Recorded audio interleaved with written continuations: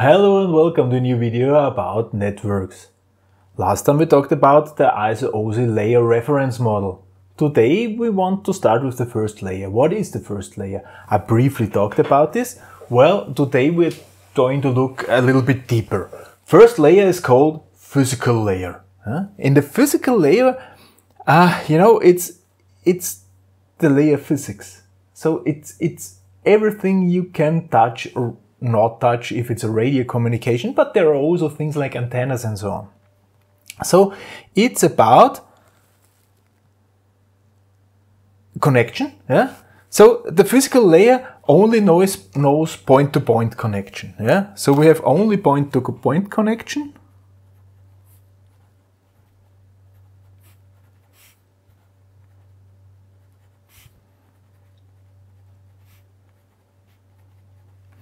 And we want to transfer a bit. This is also a bit transfer layer if you want. Yeah. Goal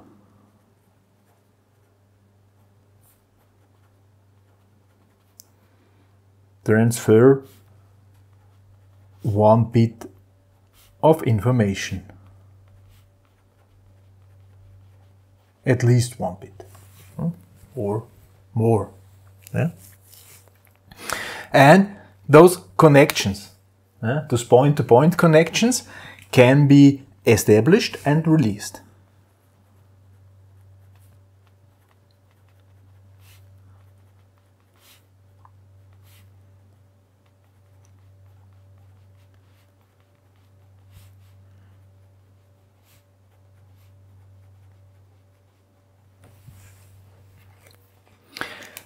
So, and everything which is necessary for that is layer one. Yeah. So we are talking about, you know, things uh, like communication media.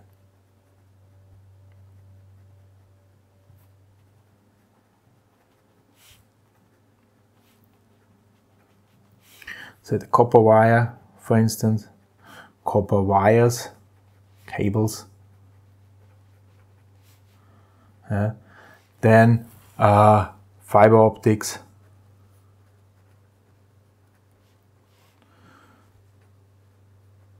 Radio.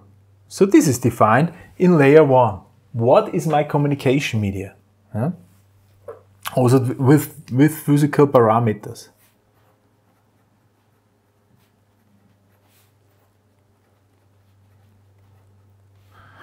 Parameters. Okay, this is necessary. Huh? Then the, the, not talking about just I use this wire, but also I use this voltage level and so on. Yeah. Then of course the information carrier.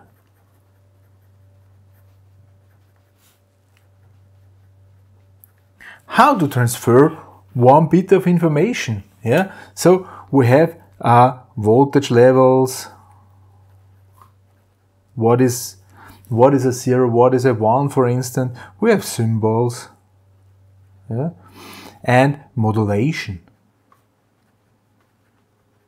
If we are using, I don't know, fiber optics or radio, then we have a high frequency carrier wavelength and then we modulate this carrier wavelength somehow and this might be uh, even more than two states possible. Yeah? That we're not having just 0 and 1, but we're transferring, for instance, four states with different modulations 0, 0, 0, 1, 1, 0, 1, 1, 1. Yeah? And this is called coding. How is a certain bit of information coded? Right? Information carrier. This is also needs to be defined in physical layer. Yeah? Typical things, typical things that belong to the to the layer ones. Yeah. Things are cables, some termination resistors. Yeah. Terminal resistors, terminators. I'll be back. these terminators are there that nothing is coming back. Yeah? That the, the, the information at the end is not reflected but terminated. Yeah? Will not be back. Yeah? Then connectors. Physical form of connectors. Yeah? How does the plug look? How does how does it look? Yeah? Antennas, of course. If we are not if we are not in, in with using cables, but if, if you're using radio, how must the antenna work? Yeah? And then there's a thing called repeater. And then there's a thing called hub. What are those things? Yeah? Usually, let's think about a wire. A certain length of a wire, and at some point in time, the wire, the, the, the signal on the wire is getting disturbed because this wire is getting too long. So if we have somewhere a wire,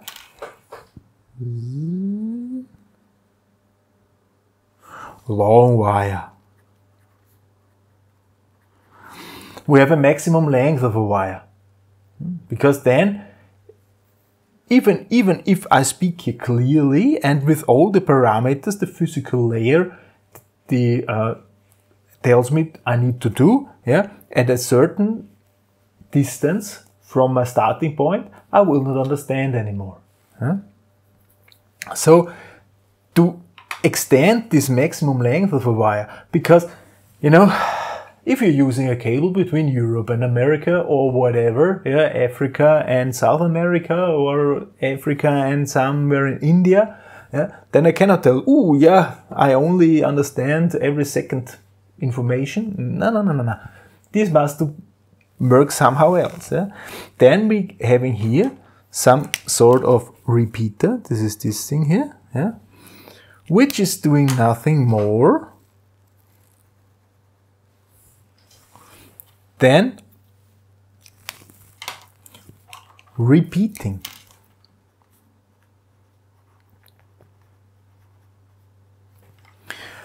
Listening here, it's short enough. This wire here is short enough that the repeater still can understand. And telling the same information it just understood, it is repeating on the other end. That's repeater. Huh? A pretty good name for this stuff. Yeah? Repeater is just telling one end of the network what it heard on the other end. Yeah? Only repeats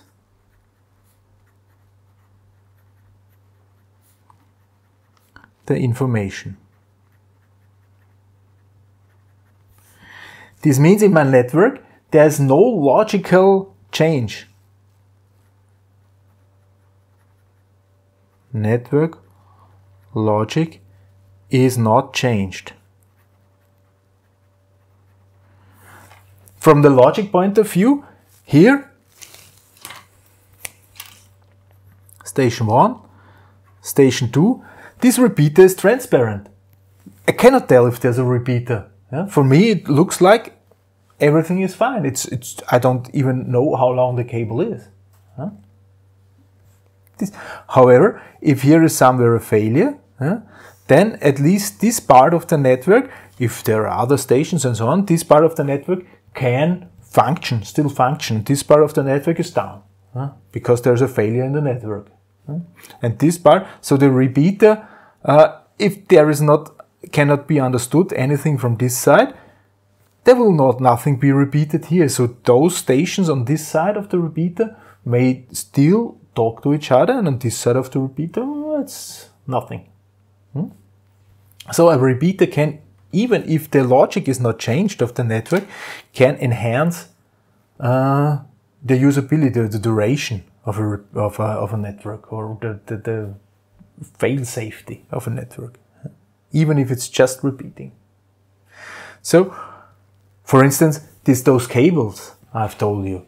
Every some hundred kilometers there, there's a repeater placed inside. Yeah? Every some thousand kilometers, there's every some hundred kilometers, there's an optical, is usually, usually, fiber, fiber optics, and every some hundred kilometers there is a optical amplifier, optical repeater.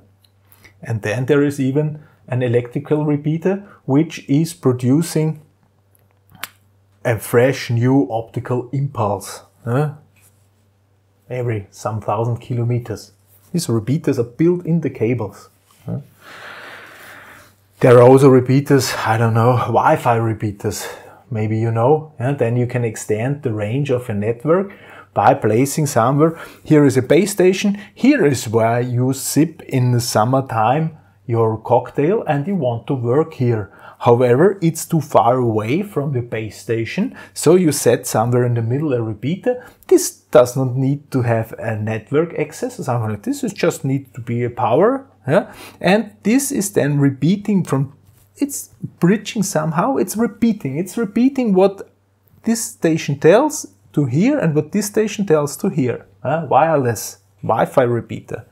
Also in mobile communication, yeah, there are repeaters which Uh, you know, in the subway or where usually the, this antennas will not reach. Yeah, then you put in a repeater and suddenly you have access to network. Yeah, because it's very much important that you can phone from everywhere on this planet. I don't know, huh? but that's the way things are. Repeater. And if this repeater is not only a single thing, yeah, so if we have here a repeater, and there is a station 1 connected, there's a station 2 connected, and there might be even a station 3 connected or 4 connected or whatever. Yeah? Then this is no longer called repeater. This is then called repeating hubs.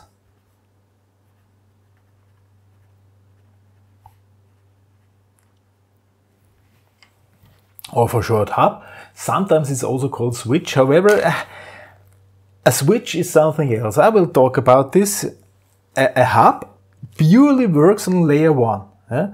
So whatever is listening, whatever is coming from here, it will repeat on all other things. So a hub is not changing the network logic.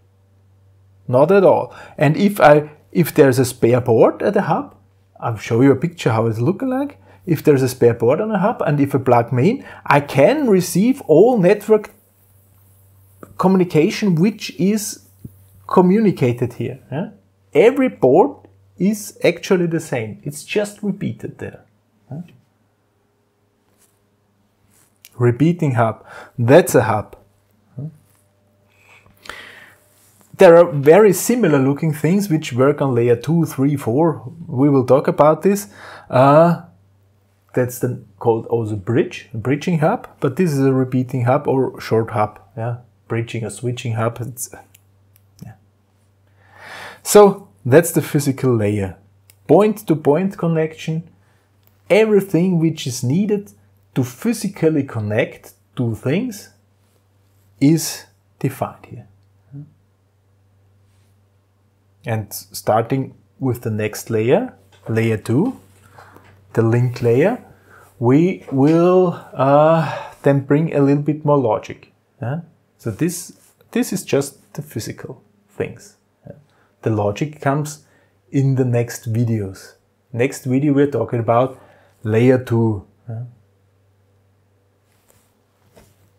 Uh, two sub layers, but we will see. We'll see.